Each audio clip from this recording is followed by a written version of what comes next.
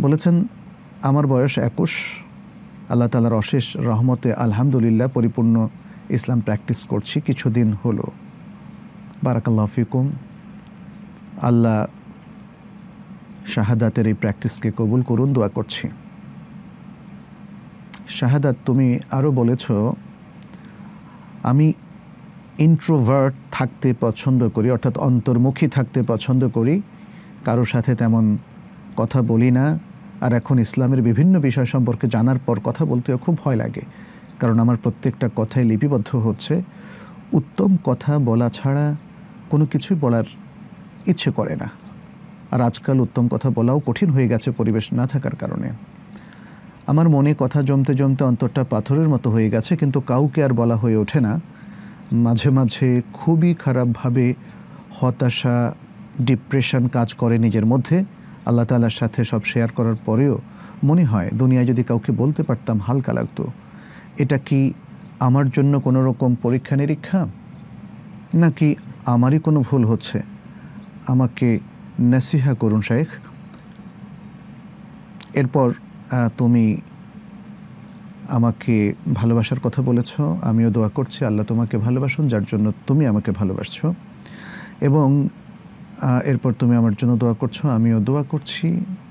আল্লাহ, তোমাকেও তৌফিক দান করুন, সুস্থ রাখুন, হেফাজত করুন এবং তোমাকেও জান্নাতের সর্বস্তরে থাকার তৌফিক দান করুন। বারাকাল্লাহ ফিকুম হাইয়াকুমুল্লাহ। এখানে অনেকগুলো বিষয় আছে, শাহাদাত তোমার এই প্রশ্নের মধ্যে। সবটা হয়তো আমি টাচ করব না, সরাসরি উত্তরের দিকেই যাওয়াটা পছন্দ করছি। ইন্ট্রোভার্ট থাকা, অন্তর্মুখী থাকা, এটা খুব ভালো কাজ নয়।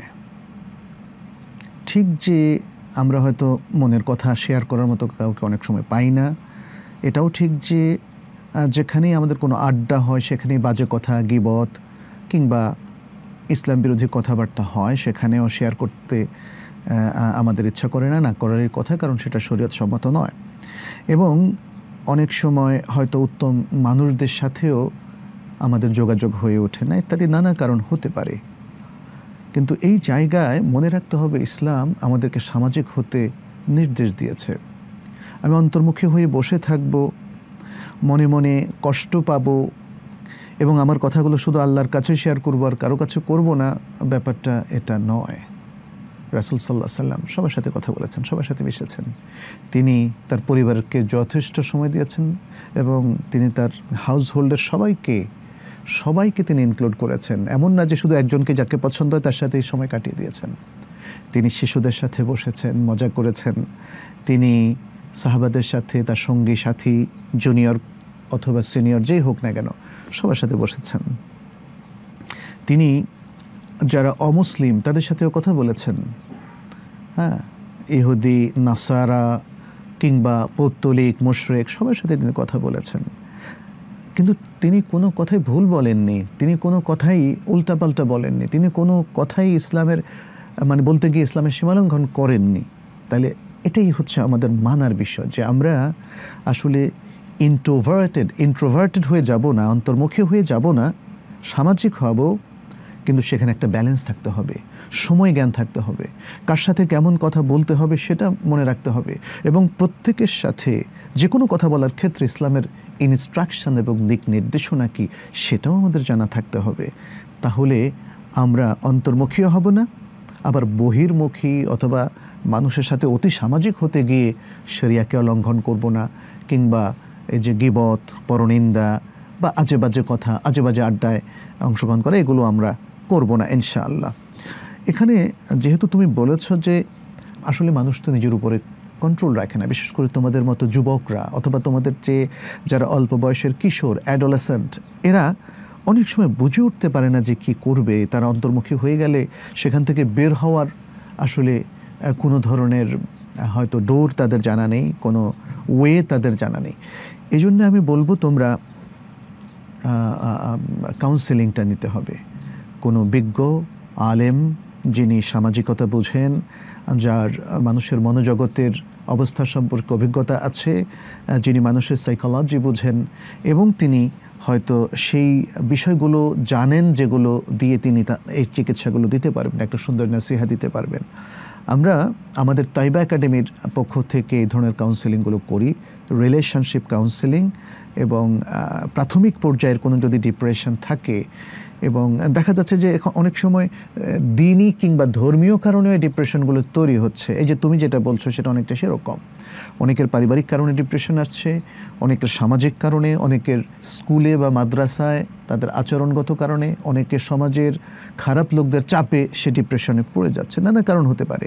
তো আমরা এই রিলেশনশিপ বিল্ড আপ করা বা প্রাথমিক এই ডিপ্রেশনগুলো দূর করার ক্ষেত্রে আমরা নাসিহা দিয়ে থাকি। আর যদি ডিপ্রেশনটা খুব বড় ধরনের কিংবা মনোরোগটা খুব বড় ধরনের গভীরতায় পৌঁছে যায় বা ভয়াবহ ঝুঁকিতে চলে যায়, তখন কিন্তু শুধুমাত্র কাউন্সেলিংয়েও কাজ হবে না, তখন তাকে হয়তো যারা সাইকোলজিস্ট কিংবা সাইকিয়াট্রিট মনোবিজ্ঞানী কিংবা মনোচিকিৎসক তাদের সাজেশন নেওয়ার প্রয়োজন হতে পারে। অতএব দুটোর মধ্যেও অনেক সময় আমাদের সম্মেলন করতে হবে। যাই হোক, আমি আমার তরফ থেকে কিছু নাসিহা তোমাকে দিতে চাই, যেহেতু তুমি নাসিহাটাই চেয়েছ। আমি প্রথম বলব, আমরা যে প্রথম কথাটা বলেছি, তুমি ব্যালেন্সের সাথে তোমরা মানে উভয় পক্ষের মানে কোনো দিকে বাড়াবাড়ি না করে তুমি একটা সুষম সামাজিক ব্যক্তি হয়ে ওঠার চেষ্টা করো। মা বাবার সাথে অনেক কিছু শেয়ার করো।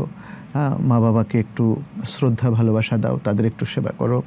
পরিবারে ভাই বোনদের সাথে একটু মজা করো হ্যাঁ বৈধভাবে এবং বন্ধুবান্ধবের সাথেও বৈধতা সীমানার মধ্য থেকে তাদের সাথে ইন্টারাকশনটা বাড়াও, তাহলে তোমার এই অন্তর্মুখিতা চলে যাবে। আচ্ছা দ্বিতীয় হচ্ছে তুমি সুন্দর কথা বলো। সুন্দর কথা বলো ভালো কথা বলো, সেগুলো শেয়ার করো হ্যাঁ? শেয়ার করার জন্য তুমি একটু চিন্তা করো, আল্লাহ তোমাকে মেধা দিয়েছেন, সেটা দিয়ে কীভাবে ভালো কথাগুলো বলা যায়। যেহেতু রাসুল সাল্লাহ সাল্লাম বলেছেন, মান কেন ইউমিল্লাহি ওলিয়মিল আখরে ফালিয়াকুল খৈরান আবিলি আসমুদ যে ব্যক্তি আল্লাহ এবং আখিরাত দিবসে বিশ্বাস করে সেই জন্য ভালো কথা বলে অথবা চুপ থাকে। কিন্তু একটা জিনিস এখানে ভালো কথা বলাটাকে এখানে হাইলাইট করা হচ্ছে, আর সেটা একান্তই না বলতে পারলে চুপ থাকা উচিত। অর্থাৎ বাজে কথা না বলে চুপ থাকা উচিত। এটা সেরিয়ার দৃষ্টিভঙ্গি, সেটা ঠিক আছে। কিন্তু এই হাদিসের মধ্য দিয়ে রাসুল সাল্লাহ কিন্তু প্রবলভাবে অন্তর্মুখী হওয়ার কথা বলেননি। ভালো কথা অধিক পরিমাণে বলা, এটাই তো মুসলিমদের কাজ। আমরা মানুষকে শেখাই, মানুষকে দাওয়া দেই, মানুষের সাথে সুন্দর আচরণ করি, মেহমান আসলে তাকে বলি বা আমরা যখন কোনো কাজ করি, কাউকে কোনো সেবা দিই, সব জায়গায় তো ভালো কথা বলার সুযোগ সৃষ্টি হয় এবং সে সুযোগ কাজে লাগানো প্রয়োজন। চুপ থাকার সুযোগটা আমাদের সমাজে কম। কিন্তু ভালো কথা বলতে না পারলে চুপ থাকতে হবে, এটা হাদিসের বক্তব্য। আমরা দেখেছি যে রাসুল সাল্লাহ সাল্লাম তার সমগ্র জীবনে, বিশেষ করে নবুয়তের পরের জীবনটা যেহেতু আমাদের জন্য দলিল, আমরা সেটাই তুলে ধরছি। তিনি কিন্তু তার সাহাবাদের সাথে কথা বলতেন, তার স্ত্রীদের সাথে কথা বলতেন, তার শিশুদের সাথে, কিশোরদের সাথে মজা করতেন, কথা বলতেন, তাদেরকে সঙ্গ দিতেন।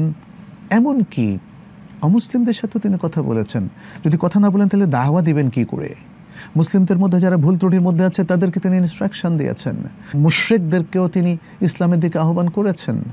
তাহলে তিনি যার সাথে যেভাবে বলাটা শরীয়ত সম্মত অথবা তার দায়িত্বের সাথে সঙ্গতিপূর্ণ, অথবা ইসলামী দাওয়ার সাথে যেটা ম্যাচ করে, তিনি সেভাবেই কিন্তু অতি সামাজিক সুন্দর একজন ব্যক্তিত্ব ছিলেন এবং তিনি তার রিসালাতে দায়িত্ব পালন করেছেন।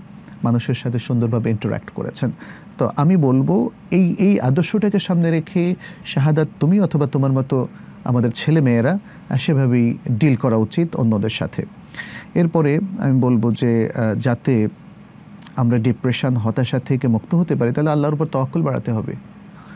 তাহলে তুমি, একটা জিনিস দেখা যাচ্ছে যে তুমি ভালোর জন্য মানুষের সাথে মিশছ না, কারণ উত্তম কথা বলা কঠিন হয়ে গেছে।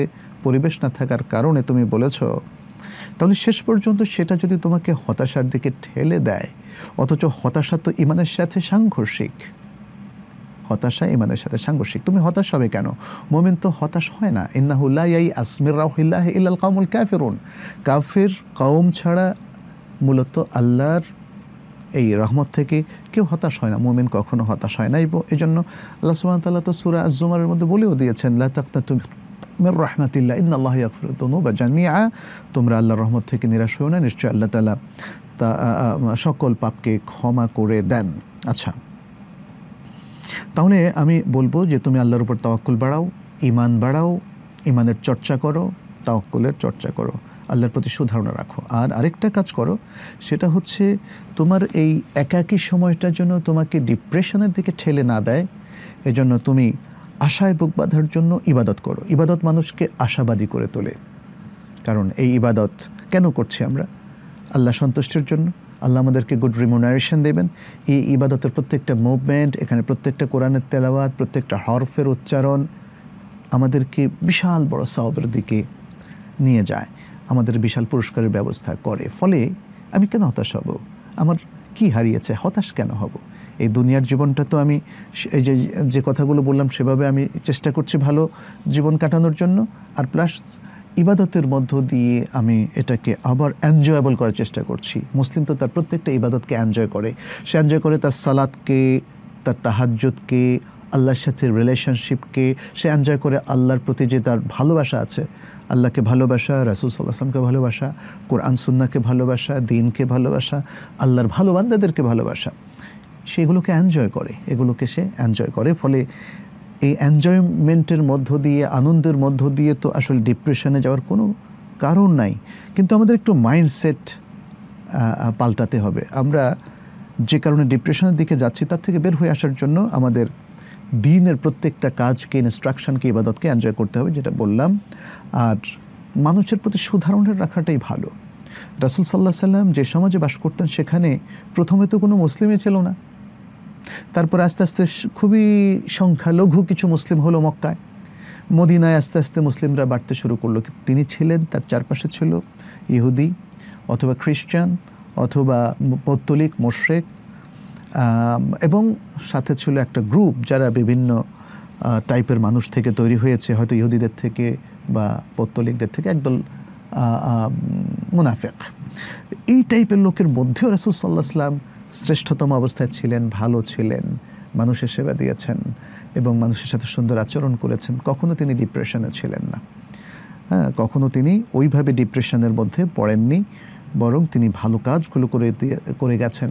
সেবাদান তিনি করে গেছেন অত্যন্ত প্রফুল্লতার সাথে, আনন্দের সাথে এবং যারা তাকে অত্যাচার নির্যাতন করেছে মক্কায়, তাইফে, তিনি তাদের প্রতি বদ্ধ পর্যন্ত দেননি, ক্ষিপ্ত পর্যন্ত হননি। অর্থাৎ এই সমাজের নেগেটিভ কাজকর্ম, এই সমাজের শিরেক, বেদাত, কুফর, এই সমাজের অন্যায়, রাহাজানি, নারী নির্যাতন, শিশু নির্যাতন, শিশুদেরকে জীবন্ত কবর দেওয়া সহ আরও যত অন্যায় কাজ ছিল, মুনকারাত ছিল, মানহিয়া ছিল, কোনোটাই রাসুল সাল্লাহ সাল্লামকে নেগেটিভ ব্যক্তিত্বে পরিণত করেনি। সব, তুমি, তিনি সবসময় ইতিবাচক ছিলেন প্রোঅ্যাক্টিভ ছিলেন। তো আজকে আমি তোমাকেও সে কথাই বলব, সমাজে অনেক নেগেটিভ জিনিস আছে, অনেক নাবোধক জিনিস আছে, নেতিবাচক জিনিস আছে, মানুষের খারাপ অভ্যাস আছে এই সমাজের মধ্যে জুলুম আছে, নির্যাতন আছে, এই সমাজের মধ্যে দুর্নীতি আছে, সুদ আছে, ঘুষ আছে, মিথ্যা আছে, কারসাজি আছে, এরকম আরও অনেক কিছু আছে। কিন্তু আমরা যদি সচেতন হই, তাহলে আমরা আমাদের নিজেদেরকে নেতিবাচক ব্যক্তিত্বে রিয়াক্টিভ ব্যক্তিত্বে, প্রতিক্রিয়াশীল ব্যক্তিত্বে পরিণত না করে আমরা আমাদেরকে ইতিবাচক অবস্থায় রাখতে পারি। এবং এই জন্যে আমাদের ইমান আমাদের আল্লাহর প্রতি তাওয়াক্কুল, আল্লাহর প্রতি মাহাব্বা, দিনের প্রতি মাহাব্বা, রাসূলের সুন্নাতের অনুসরণ, এগুলো আমাদেরকে সাহায্য করবে। আমাদের পুরো ইসলামের প্রোগ্রামটাই দেয়া হয়েছে এজন্যে যাতে আমরা সবসময় ইতিবাচক থাকি, যাতে আমরা সবসময় প্রোয়াক্টিভ থাকি। এবং আজকে এই যে রামাদান মাসে আমরা এই যে আলোচনা করছি, এই রামাদানের সিয়াম সাধনা আসলে মূলত মুসলিম সকল ব্যক্তিকে, তোমাদের মতো যুবক, কিশোর সবাইকে ব্যক্তিত্ব সম্পূর্ণ মুসলিম পরিণত করে এবং প্রোয়াক্টিভ করে। এই জন্য তারা রোজার দিনে কেউ লাগতে আসলেও বলে এন্নেমর অনসা এম আমি রোজাদার। তাকে গালি দিলেও সে বলে, আমি রোজাদার। অর্থাৎ আমাদেরকে চেতানোই যাবে না। আমাদেরকে আজে বাজে কথা বলে আমাদেরকে আসলে রিয়াক্টিভ করা যাবে না। তো যদি তাই হয়, এভাবে যদি আমরা মাইন্ডসেট করি, সুন্দরভাবে আগাই, তাহলে ইনশাল্লাহ আশা করি আমরা কেউ ডিপ্রেশনে পড়ব না। যদি সামান্য কারও ডিপ্রেশন থাকে, সেটা থেকে তার উদ্ধার হয়ে যাবে ইনশাল্লাহ আল্লাহ তোমাকে সাহায্য করুন এবং তোমার মতো আরও যারা আছে, আল্লাহ তাদের সহায় হন। আমি সে দোয়া করছি।